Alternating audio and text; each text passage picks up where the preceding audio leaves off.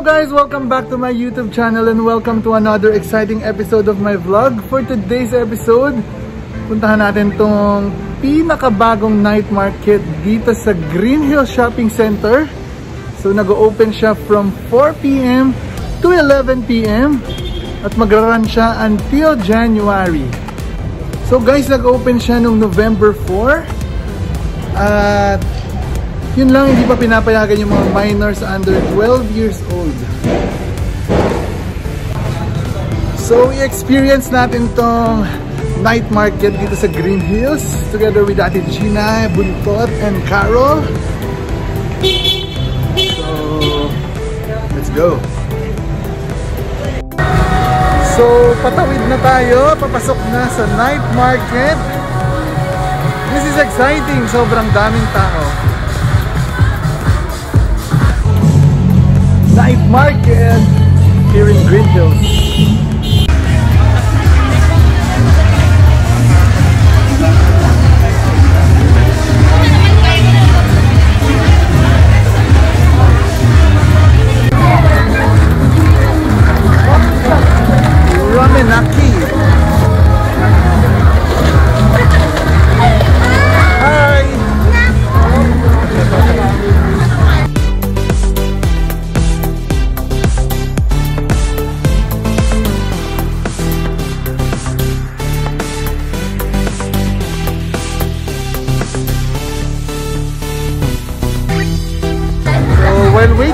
order.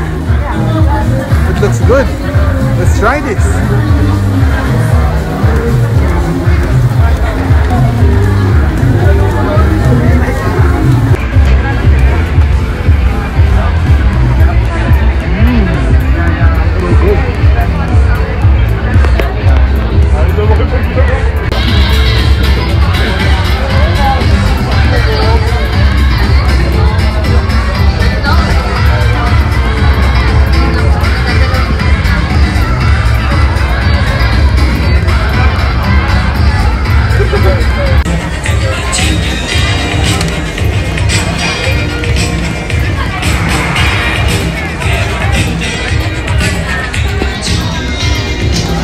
Sauce.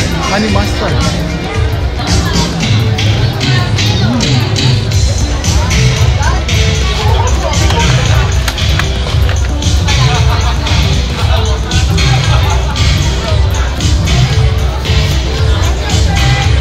Try natin tong Korean egg drop dito sa The Mercato Centrale.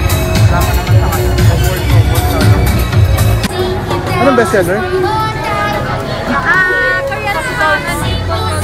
Korean. Let's try this. This is the Korean egg drop.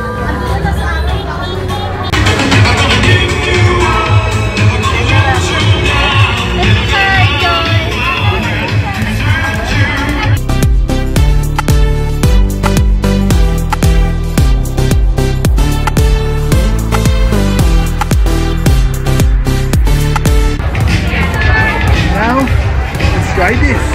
A Korean egg drop.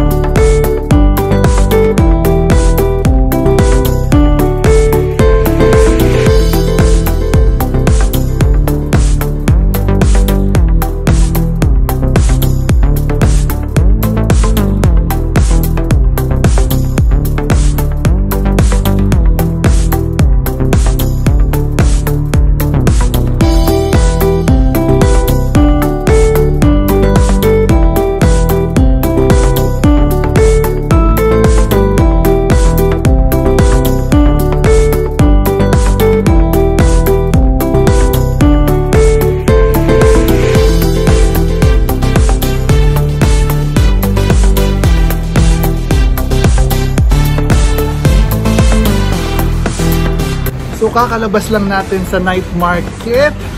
Kung food trip ang hanap mo talaga nga naman, ito yung perfect place to be. Sobrang daming pagkain from Korean to Japanese to Filipino to American. Nandito na lahat. Merong mga bibingka, merong mga Korean egg drop, may mga kimchi, ramen, barbecues, pizzas, lahat na. Lahat ng food na ikinikrave mo, andito na lahat. Pwede ka rin uminom, meron ding mga shot, pwede ka mag-shot-shot. Uh, buy one, take one sila. So, may mga iba't ibang klase ng promo. Meron din mga live bands, pero mga local celebrities, pakalat-kalat lang din sila. So, guys, try nyo to. Green Hill Shopping Center Night Market. Nag-open siya from 4pm to 11pm. Sobrang daming pagkain. Name all the food you want. Andito yon Sa night market ng Green Hill Shopping Center. Sobrang daming pagpipilian. At very affordable.